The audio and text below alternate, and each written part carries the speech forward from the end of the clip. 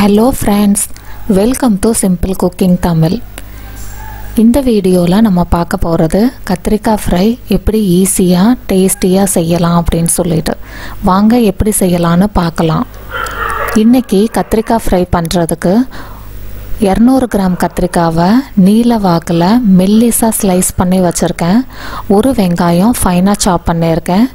Half தக்காளி ஃபைனாக சாப் பண்ணியிருக்கேன். இப்போ ஸ்டவ்வில் கடாய் வச்சாச்சு. மூணு டேபிள் ஸ்பூன் அளவு ஆயில் சேர்த்துக்கலாம். இந்த கத்திரிக்காய் ஃப்ரை பண்ணுறதுக்கு நம்ம எந்த தண்ணியும் சேர்க்க போகிறது கிடையாது. அதனால் ஆயில் கொஞ்சம் தாராளமாக சேர்த்துக்கலாம். இதில் ஆயில் சூடானதும் கடுகு உளுந்து போட்டுக்கலாம். கடுகு பொரிஞ்சதும் கொஞ்சமாக கருவேப்பிலையே சேர்த்துக்கலாம். இது கூட கட் பண்ணி வச்சுருக்கிற வெங்காயத்தை சேர்த்து நல்லா வதக்கிக்கலாம். வெங்காயம் ஒரு அஞ்சு நிமிஷம் போல் நல்லா பொன்னிறமாகிற வரைக்கும் நல்லா வதக்கணும்.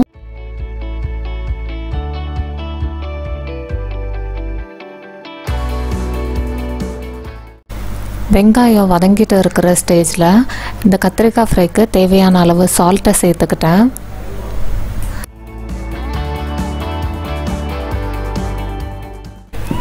வெங்காயம் நல்லா வதங்கிருச்சு. இப்போ ஒரு ஹாஃப் டேபிள் ஸ்பூன் அளவு இஞ்சி பூண்டு சேர்த்துக்கலாம். இதையும் நல்லா வதக்கி விட்டுக்கலாம்.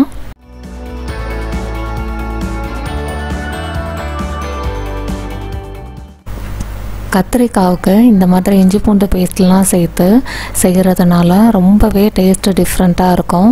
கத்திரிக்காய் பிடிக்காதவங்க கூட இந்த மாதிரி செய்யும்போது கத்திரிக்காவை ரொம்ப லைக் பண்ணி சாப்பிடுவாங்க.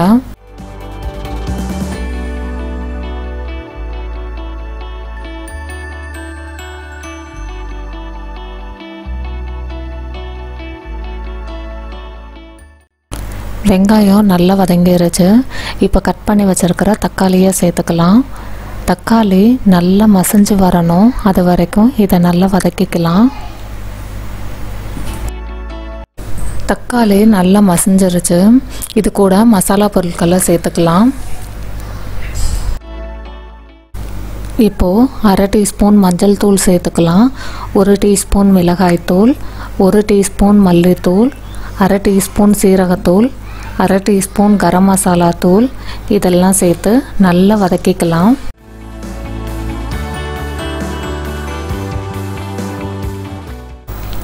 சேர்த்துக்கிட்ட மசாலா பொருட்களை நல்லா கலந்து விட்டுக்கலாம். இதை ஒரு லிட்டு போட்டு குக் பண்ணும்போது நல்லா தக்காளி வெங்காயத்தோட கோட்டாகி இருக்கும். எண்ணெய் பிரிஞ்சு வரும். ஸோ அது வரைக்கும் ஒரு ரெண்டு நிமிஷம் போல் லிட்டு போட்டு க்ளோஸ் பண்ணி குக் பண்ணிக்கலாம்.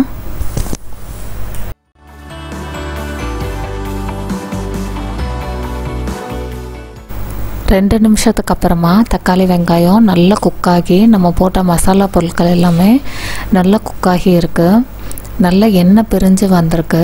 இந்த ஸ்டேஜில் நம்ம நீளமாக கட் பண்ணி வச்சுருக்கிற கத்திரிக்காவை சேர்த்துக்கலாம். கத்திரிக்காவை சேர்த்து நல்லா மிக்ஸ் பண்ணி விட்டுக்கோங்க.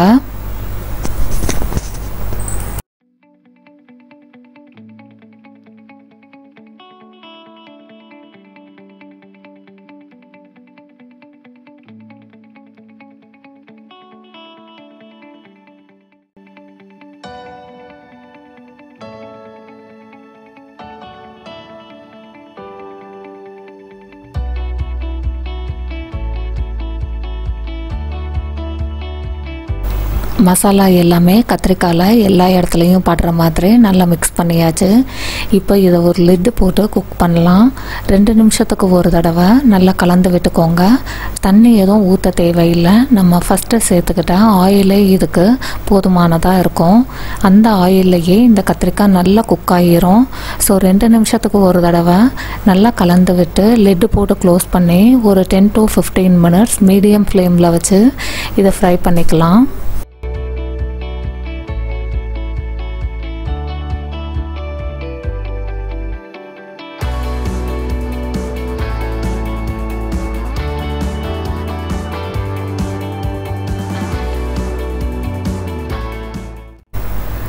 பதினஞ்சு நிமிஷத்துக்கு அப்புறமா கத்திரிக்காய் நல்லா குக்காகி எண்ணெய் நல்லா தெளிஞ்சு வருது.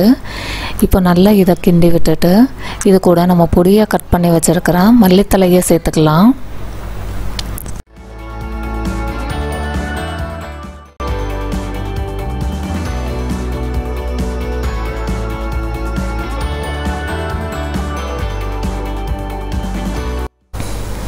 மல்லித்தலையை தூவி ஒரு நிமிஷம் போல் நல்லா வதக்கி விட்டாச்சு. கத்திரிக்காய் சூப்பராக ரெடி ஆயிடுச்சு நல்லா குக் ஆகிருக்கு இந்த மாதிரி கத்திரிக்காய் ஃப்ரை பண்ணும்போது பிஞ்சு கத்திரிக்காவாக பார்த்து சூஸ் பண்ணிட்டோம் அப்படின்னா ரொம்ப டேஸ்ட்டாக இருக்கும்.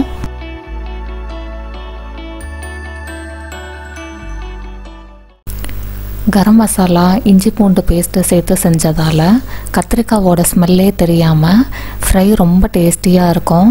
பருப்பு சாதம் சாம்பார் சாதம் தயிர் சாதத்தோட ரொம்ப காம்பினேஷன் சூப்பராக இருக்கும்.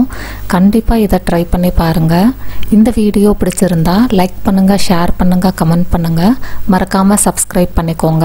தேங்க்ஸ் ஃபார் வாட்சிங்